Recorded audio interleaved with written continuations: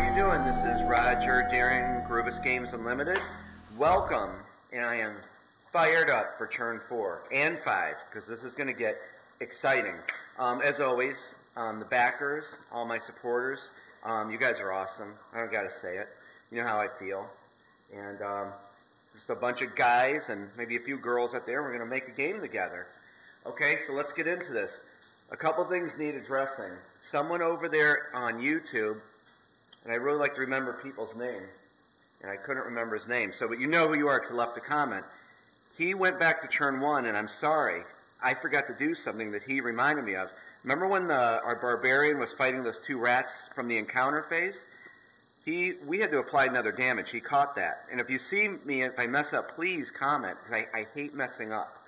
So that has been processed now. So went all the way back to turn one. That's perfect. Okay? Before we get into up phase, or up, up phase, upkeep phase, um, I should have showed you this last term, but it's no biggie. Remember about tracking. Okay, hopefully you remember this. Target priority box. This is how I kind of program the monsters. Class C3, C2, C1. So that stands for Class 3, Class 2, Class 1. Um, class 1 is your Barbarian and Warrior. Class 2 is the Archer and Rogue. Class 3 is the Wizard and Cleric. Okay? So that's like in the order he's that Razorfang's going to attack. So he has um, our Warrior had tracking, you know, the tracking token to match Razorfang. However, the wizard now is his primary target. And that remember this whole mess that's going on over there? So Razorfang is, you know, targeting or tracking now the wizard. And that leads me to something. And if you guys have ever played MMOs, there's a term called kiting. And what it is is it's like when a hero pulls a mob with them, or like a monster, you know, they're kiting them along, stringing them along, and usually everyone's going to gang up or they have some kind of strategy. In Dungeon Crusade, that's possible too, and we're going to see this. We're going to set Razor Fang up on turn four, and turn five, we're going to hit him with four heroes. So I think you're going to you're going to enjoy that. So that's coming up. Um, and then this is directed to pretty much our editor of the rulebook, Pete. Um, I've got some incoming for you. Um, there's two changes to the rulebook, and I think that the old version we have to update this, but we're going to get to that when we when we you know get into this turn, and it has to deal with Albus going to the village and enlightenment. Enlightenment when um, a hero gets a new ability. So we're going to touch on that when the time comes. But for right now, it's time for upkeep. So let's talk about upkeep. Remember, if we had any kind of, um, if we had torches, we would process them to see if our torches go out. None of the heroes have um, torches. However, I believe we're going to be getting one um, on this turn here. Um, if we have any afflictions, mostly the bleeding and paralysis, um, we would process them. You're going to lose a health um, on if you're bleeding, and you're going to, if you have paralysis, you're going to lose an essence. Nothing there. We're good. So we're going to go right to the initiative phase. So let's get over here and let's talk about this for our strategy. Okay, remember from last turn, we thought hopefully the cultist of Xul was going to come down here, and she decided to go back up from the from a roll on the patrol route die. So, and our orc siegebreaker, he's heading up to the cesspool south to pick up another patrol route. And he's he's gonna it's gonna be a few turns before he gets there. However, we got to get some main questing done. Um, the tools of the trade. Remember for the blacksmith, we're going to start breaking this out over here, okay? So what my plan is, um, we're going to take the barbarian and the cleric, and over here, up in this zone here, um, you know, this is the Chamber of Kings North and Northern Quarters. That's this whole area right here. The, those items could be here. So my plan is um, the cleric and barbarian are going to move up there. You, believe me, your tactics and strategy and planning will change on the fly in this game if something goes haywire. So that's what I want to do there. So let's do this. Let's grab initiative token two, or um, one, and let's give that to our cleric. So let's her, let's move her first, um, followed by the barbarian. Okay. Um, oh, and an upkeep. Remember how he slipped when he, um, we did that encounter. So he would stand up right now because we're putting the initiative token. So he's good this turn. Now, okay, so that's set up. So let's talk about this. we're going to really just, we're going to try to kill off Razor Fang. We're going to set up this, this kiting thing because he's going to follow the wizard, you know? Remember, you have to hide to get away from Guardians. We don't want to do that. So my plan is this, if you'd like to hear it, I think you guys enjoy hearing it. We're going to, let's do this. We're going to move the rogue third, okay? So let's get a note, initiative token three, put that on the rogue. Right now, she's going to move up because that goblin spearman is a raiding minion.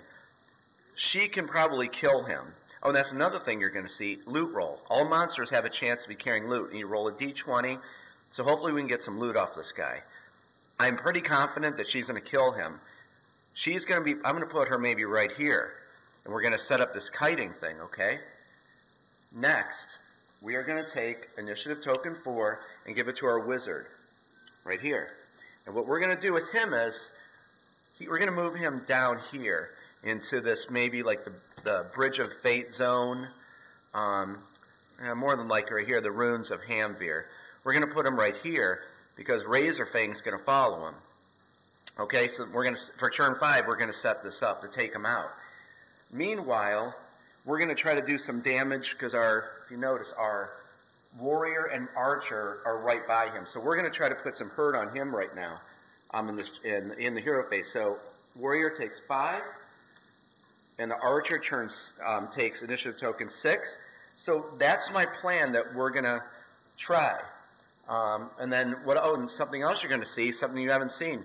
Champion battles. Champions reside in the chambers of the dungeon where the quest items are. So you're going to get to see another kind of battle, and those happen continuous. So there's, I like how the game's unfolding. So I'm teaching you it as you know things happen. So I hope you're enjoying it. Okay, I'm going to pause. We're going to go over into the encounter phase, and we're going to process that. See you in a second. Okay, guys, we're in the encounter phase. And we're going to draw a card and see. Okay, so this is an event. This could screw up our plan. A vagrant minion spawns into the dungeon. Roll the d8 for spawn location. And then in fine print here, once this card has been played, set it aside. Do not reshuffle this card until the next celebration day.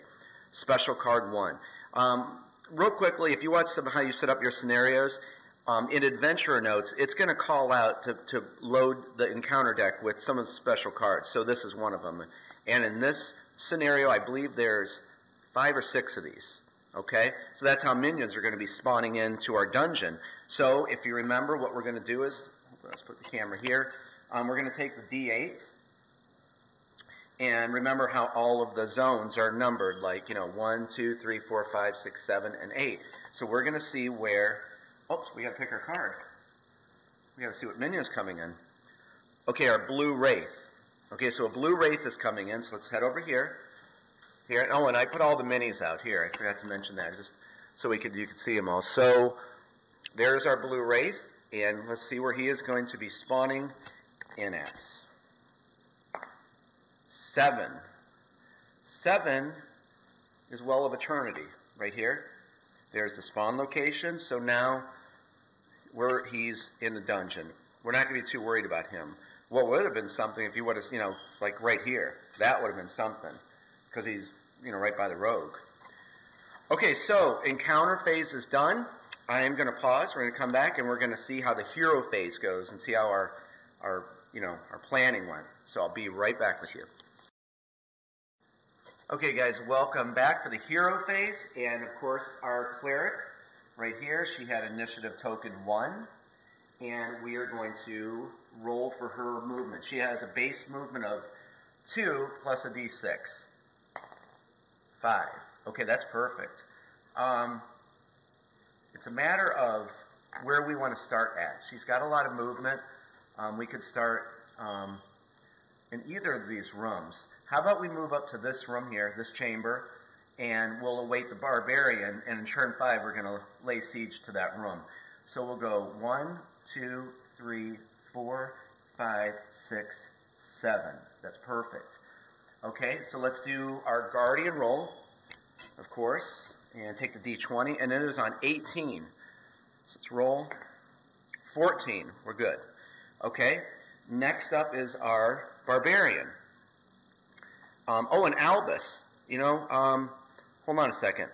Because remember, we can move Albus. Let's do this. Why don't we move? That's I meant to do that at the beginning of the churn, but you can move Albus at any time. Let's move him right now. Okay, he has a base movement of six plus a d6, two. Okay, so he has eight. This is something that has been changed in um, play testing, and it just keeps the, the game brisk. So when you leave, he's going to the village, right? So he goes one and then two. We're going to come over to the village, and he is at the village. We'll put him over here at the bazaar. Um, and let me explain.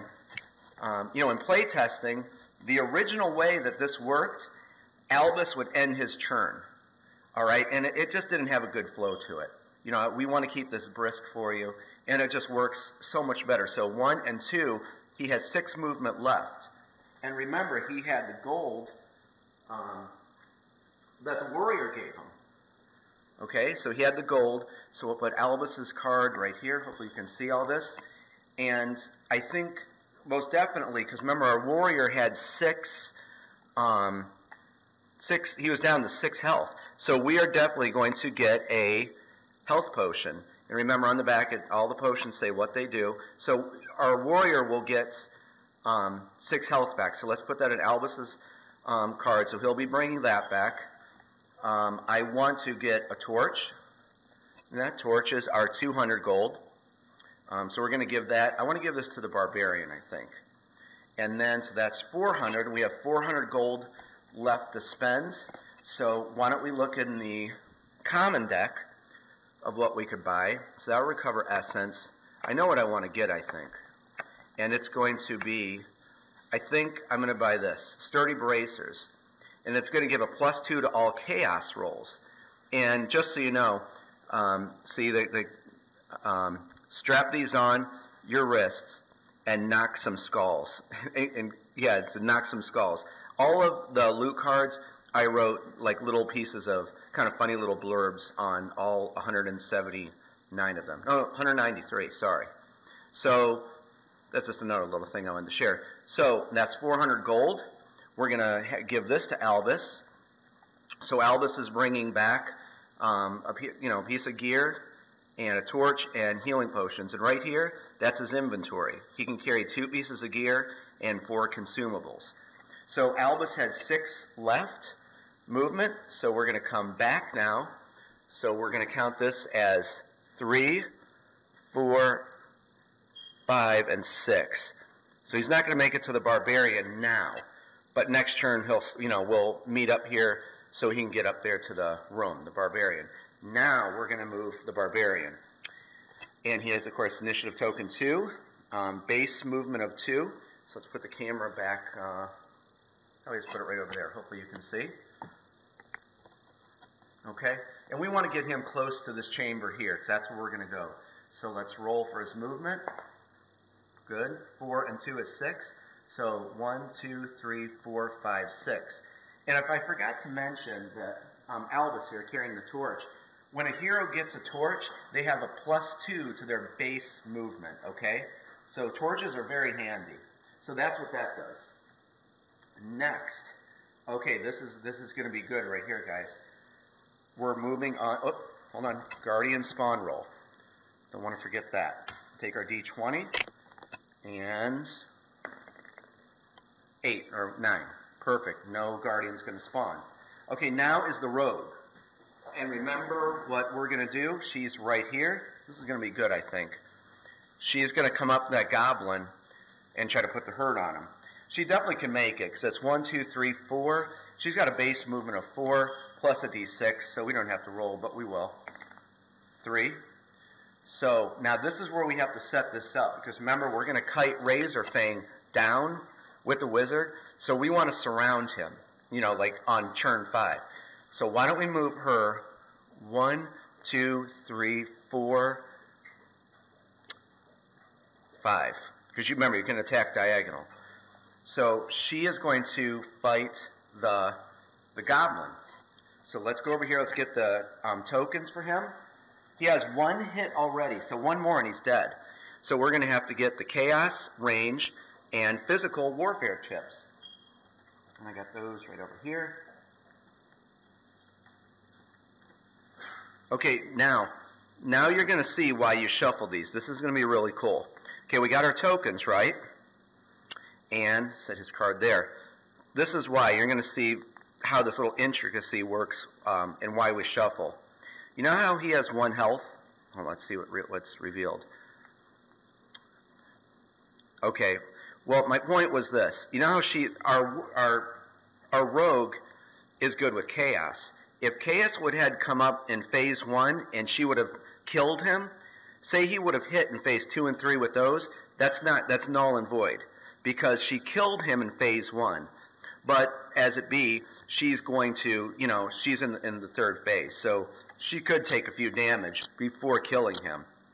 All right, so what we're going to do, let's talk about, well, we already know what we're going to do.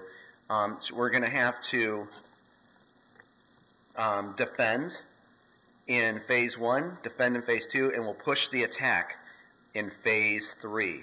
So that's how it's going to go. Okay, I'm going to meet you at the dice box. You're going to maybe see a loot roll here. That's uh, 20. You're going to get to see that. We're going to get some life force. Life force is XP. It's going to be a good turn. I'll meet you at the dice box. Okay, guys, we're at the dice box, and the rogue is going to be trying to put the hurt on the goblin. Um, the goblin spearman got his card here, and let's see what's going to happen. Let's get the battle dice, if you will. Shake it up. Okay, um, phase one, of course, was um, physical warfare, followed by range, and this looks really good. Okay, so let's take a look here. Um, let's get his card. I think we killed him. Okay, so the rogue had to de defend in phase one, 10. She scored just enough. Remember, if you meet that number or exceed it, she defended. That's good. Over here, phase two is physical. Over there on her combat chart, she successfully defended and look at that. With a 13, let's get her card here, she could add plus two, that's 15, and she slays the goblin spearman. He is dead. Okay, so let's, what does this mean here? Okay, see that little green globe? That means that she gets one life force, or actually the group gets life force. Think of life force as essence. And um, when I when I when I call it that, I just wanted to create something that you know, like when you do a good deed or something. You know, like when you you know you feel good that you did something for someone. That's kind of why I called it life force. That you know they're killing monsters and doing quests, so it's like a righteous kind of thing. So here's what our here's the life force globe, and then all heroes um, share this collectively. So we got one life force. Um, that's his racial trait right there. And then right here it says we get 100 gold. So let me grab that. Okay, so here's our gold. So we'll give that to her. Now you're going to like this. Here's a here is um, a thing called the loot roll. And when I created Dungeon Crusade, I wanted it to be like every monster has a chance they're carrying loot. Okay? So what that means is, when we see that little treasure chest in 20, you're going to roll a d20. If 20 comes up, you get to draw a loot card. Now, different monsters you're going to find will have a better chance of carrying loot. Um, let's, let's see, we had our vagrant. See, like him, 19. So on him, it's a 19. There's other ones, a few of them I can't remember, that have 13. So this is called a loot roll. You only get one of them. So we got a d20, and we're going to roll. So be, how epic would it be for me to roll a 20?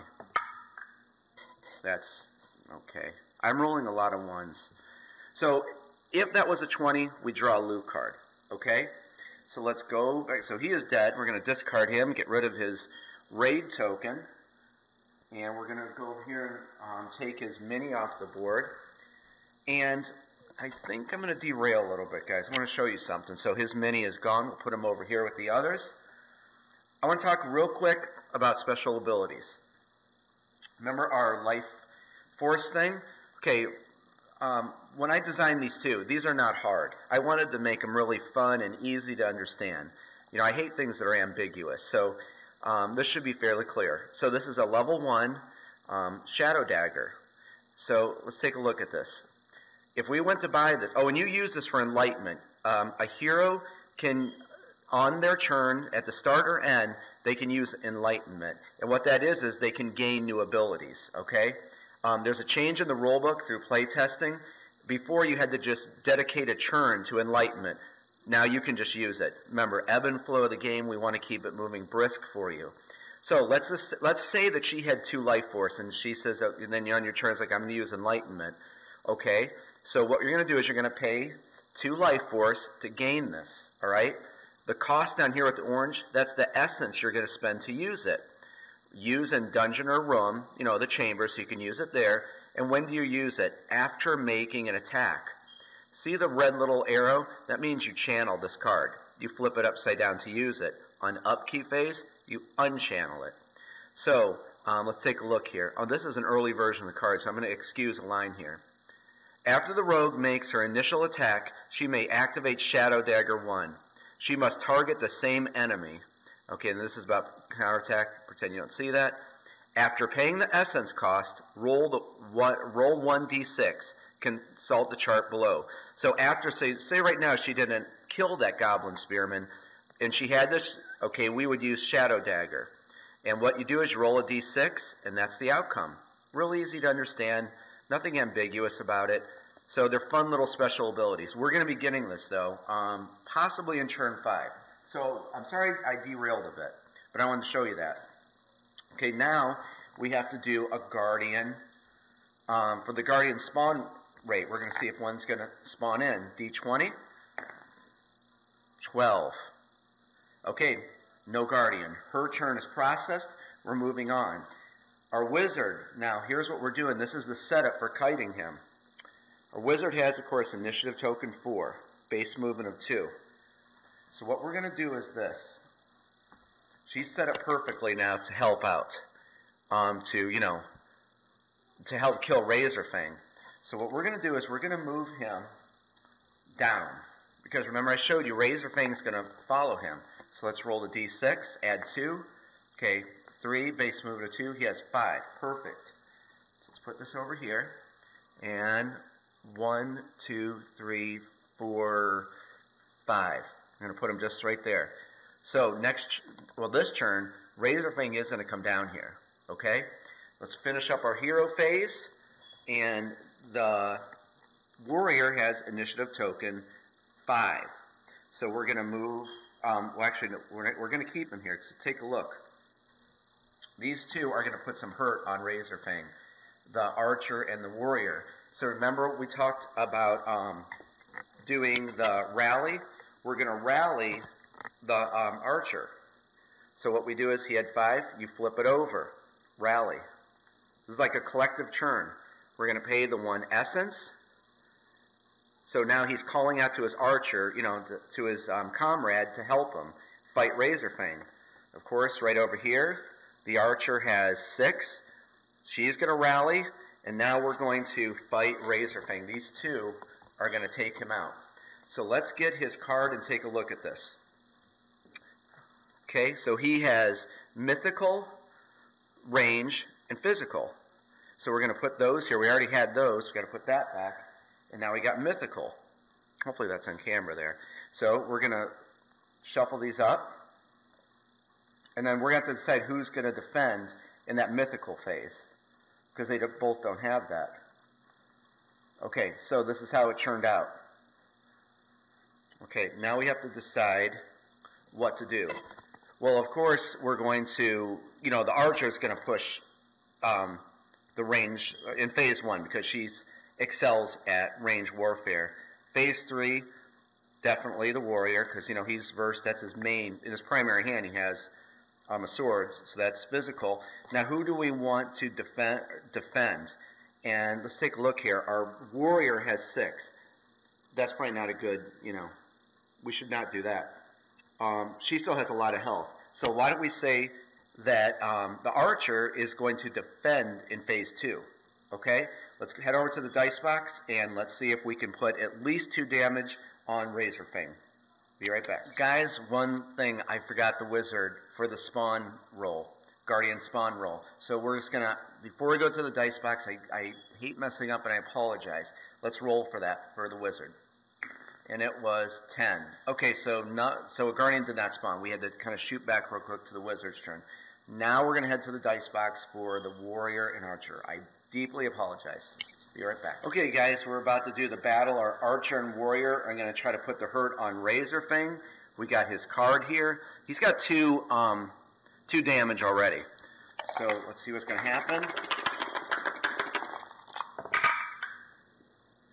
Okay, so see, this was um, mythical was in phase two. Range was in phase one. This looks pretty good, I think. Okay, so let's take a look at this. Um, well, phase one was range. 13, um, that's where our archer was going. And of course, she's using her bow that does one damage. I meant to show you that stuff before, but I think you guys already know. All their weapons can do one damage. Plus 4, 10, 14. She, he does take a damage for that. So, what we're going to do is we're going to take the other two off of him um, and just, you know, put a 3 on him. So he does have 3 damage now. 4 more and he's dead. Hopefully you can see that. Okay, our archer was going to defend, remember? She was defending in phase 2. Unfortunately, um, she did in 13. She rolled an 8. That's 2 damage. So we're going to get her card. And she didn't take 2 damage for that. I mean, definitely we'd want her to, you know, take the damage instead of the warrior because he was down. Lastly, um, 12. The warrior just came in with a massive bash, 17 plus 421, and puts the hurt on Razor Fang. So another one. So for that combat, Razor Fang took two damage. He's down to, he only has three left. Next turn, I'd imagine he is going to be dead. Okay, now remember, we have to do our Guardian spawn rate because that's like a collective churn. And that is going to wrap up the hero phase. So we're going to roll, but the warriors first. We'll roll for him. Nine, okay, eight. I'm sorry, nine. And now for the archer. Woo, 15. Okay, that concludes the um, the hero phase. Sorry, I was looking over something. That concludes the heroes phase. Now we're going to move on to the monster phase coming up next. And I will see you in a moment. I'm going to do some cleaning up here in our player area, and I'll see you in a second. Hey guys, we're back for the monster phase, and I have to correct something. I caught something in editing, and I don't know why I did this. Albus had six movement when he came back from the village, and I went four. Not sure why I did that. I should have moved him two extra. So I play fair and square, but um, hopefully this is okay. I'm just going to go one, two to finish his movement. We're not going to exchange all the stuff he got. We'll leave that for the hero phase. Um, so I wanted to correct that. Okay, so we're going into the monster phase. The red skeleton warrior is going to activate first, and you know he's a raiding minion. He's going to get out. So three plus two, plenty of movement. One, two, and we consider going to the village three. So here he is. He's raiding the village, causing all kind of chaos and havoc, and in turn, that's going to raise our terror level to five. Still got five more, but we got to keep an eye on them. So we're going to take as many, put them back over here with the rest of the crew, and remove, um, of course, the raid token and his card. So next? Oh, I was looking at this. Sorry. The green Orc Siege Breaker was up next to activate. Okay. Um, you know, on a we're going to roll the raid die. Put it right here for you. Hopefully you can see everything. Um, he has um, going to roll here. Remember, on a 12, he's going to convert to a raiding minion as I knock a door over. But we're good. It was a 10. So he's just going to um, move. He's on the green patrol route, and he is going to roll. Um, he has a base movement. Let's take a look. A base movement of 2, and, of course, a d6. 5. That's a lot of movement. So he's going to move 7 on the green patrol route. 1, 2, three, oh, sorry, one, two, three, four, five, six, seven. And he is heading into the cesspool area. So he's done. Next up is our cultist of Zal. And remember, she is kind of going north in the dungeon into the, she's about to go into the runes of Daggorath. So we are going to roll for the raid die. 12 would convert her. And it is, how close? 11. Okay, so she is just going to continue moving on, and let's roll her base. She has a base move of 2, plus a d6, 4. One, two, three, four. She's done. Okay, so next up here is our orc archer. Base movement of three, and he is way over here. And he is about to get another patrol route. He's right here um, in Chapel of Light South, right here. So let's, of course, roll to see if he's going to be a um, convert to a raiding minion. That's a 9. Nope. And we're going to roll his movement. 6. That's a lot of movement. So he has a base of 3 plus 6. That's 9. So he's going to hit a spawn point. 1, 2, 3. He still has 6 movement left. We'll use that as a reminder. And of course, he's going to pick up a patrol route. You know, he's thinking which way to go. So he is going to go blue. The blue patrol route is right here, so he's going to move six. One, two, three, four, five, and six. And he, you know what? Look where he's headed. Remember, we're going to, you know, we kite, what we used our wizard to kite, um, you know, Razorfang. He's coming right into the middle of this. And remember, they have line of sight of three. This is going to get interesting on the next turn. Okay, the next thing we're going to do is Razor Fang. And remember that he is going to, you know, we're kiting him down here. So what we're going to do is he's going to move. He can move three quadrants, plenty of movement. So he's not going to attack them, but he is going to attack our wizard. Okay, so let's get our tokens here. And let's head over to the dice box. And of course, Razor Fang has mythical, range, and physical. So what we're going to do is shuffle these up real quick. Now this is not going to matter because he doesn't have, the wizard does not have counterattack. So we'll put those there. And first phase is mythical. Second phase is range. And lastly, physical. And of course, you know what we're going to do. We're going to, we're going to push defense in all three. Wizard could take some heavy damage. Okay, let's head over to the dice box and let's see how this goes. Be right back with you. Okay, guys, we're at the dice box. This could be um, pretty scary here. We can add plus two in the mythical phase, which would be phase one. You know, again, remember counterattack. You could always, you know, attack back. So let's see what's going to happen. We got our battle dice here in the cup. And, okay, phase one is mythical. Phase two, of course, was range. And then um, over here with physical. I think he did actually pretty good in defending. Let's take a look. Um, Razorfang has 13. Our wizard scored 11. However, luckily, plus 2. So he blocked that attack. Unfortunately, he um, defended with a 12 in the range warfare, 13. So he is going to take, what is that, 1 damage. He's getting down there. Our heroes are getting low on health. Finally, in the um, physical warfare. He scored. He he defended with a 14, exceeds 12. He did good. Okay, um, let's finish this up here.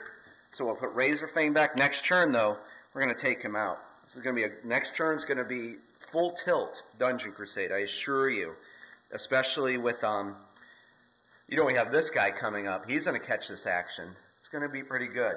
Okay, lastly, we have our the new minion that spawned in, the blue wraith. Let's get our raid die. I mean raid die. Yes, raid die. On D12, you know, 12, and he's going to convert. Nope. And so he is on a spawn point here. So we're going to roll for him, see which way he's thinking of going. And he's going to go orange. Now, guys, remember what I, I taught you. When you see the dots, that just simply means they're going to follow that all the way you know, because there's nothing more in the corner. So very quite simply, he's going to follow the green patrol route, but you know, orange came up. So let's roll his. Mo- I could have rolled his movement at the same time. Apologize. So one. Let's say his movement. I think he's got three, and he has got um, three. So he is going to move four. Um, four. So one, two, three, four. And that ends the monster phase. And guys, I'll tell you what, I was going to like break away, but we'll keep it um, right here. This turn's going to get next, turn five. you know, we kited him here. Four heroes you're going to see gang up on him. We got our green orc archer coming to this um, patrol route. He is most definitely going to catch sight of the heroes ganging up on Razor Fang. That's going to be a big mess. And then you're going to see some combat here in, in a chamber fighting champions. Um, this is getting good. I hope you're enjoying this. Okay, guys, I'm going to break away, start on turn five, and I will see you in a bit. Bye-bye. Guys, I came back real quick. You know what we forgot to do? Move our Guardian spawn rate. So it's on 17 now. Sorry, I forgot to include that. This is going to get pretty nuts, I assure you. Okay, guys, take care, and I'll see you on turn five. Bye-bye.